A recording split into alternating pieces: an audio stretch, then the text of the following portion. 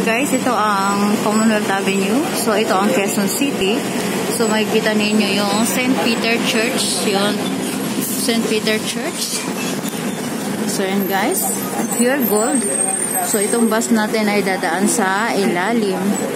So, ito na po yung bagong mukha ng Quezon City. So, meron na siyang Ordaneta, ar, ano, Araneta Underpass.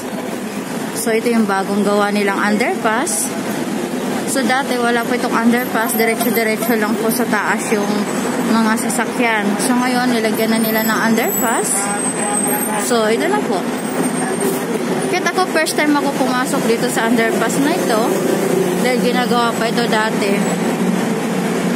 So salamat kay Tatay Digong, pinaganda nyo ang aming lugar o ang ating bansa. So ayan guys, maluwang na yung kalsada kasi meron ng ilalim, underpass, at meron ng overpass. So, yun na guys.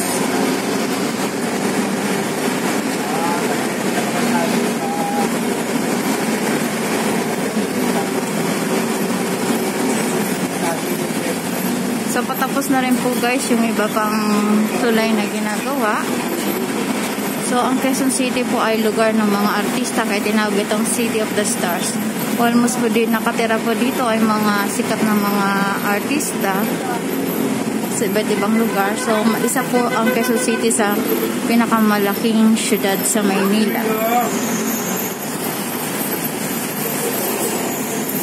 So, guys.